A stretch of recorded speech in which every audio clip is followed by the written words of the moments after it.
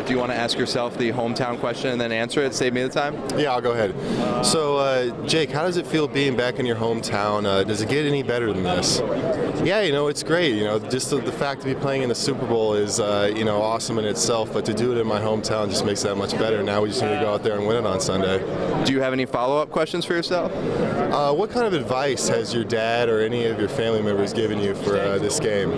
Yeah, you know, just to stick to what's gotten you here. You, know, You get the what, point. What it takes. And other guys have heard the repeats too. Am I going to get starstruck by Tom Brady on the field? It's usually about how old we are as an O line. Maybe a joke about my gray hair. We have the belief. Now, I mean, nobody's complaining, but you can understand this can be a little mentally taxing. An hour straight of questions for several days, or having to kill that time if nobody's by you. I try to get in my daily Sudokus, you know, keep my mind fresh.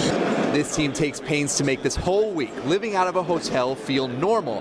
This part you can't, but players say they see this as a chance to connect to their fans, which makes media a positive, And if they do, or at least palatable. It is taxing a little bit, but I mean it's it's fine. it's not too strenuous. Uh, there are harder things to do than, than sit and talk for 60 minutes. I've enjoyed it a lot. Like each, you know, each moment, the process, and I've been having a great time with it. Do you have a final kind of lighthearted, fun question for yourself? For myself, let me think of another good one. Oh, you put me on the spot. I nailed the first two. I know I got one. See, it's not so easy. Yeah, I guess it isn't too easy. I give you guys some more credit.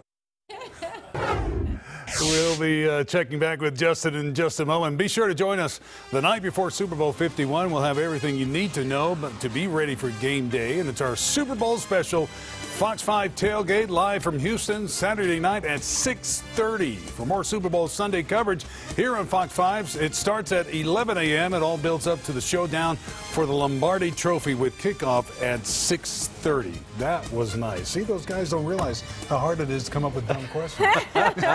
that was genius on Justin's part. I loved it. It was a lot of fun. All right, stay with us. We'll be right back.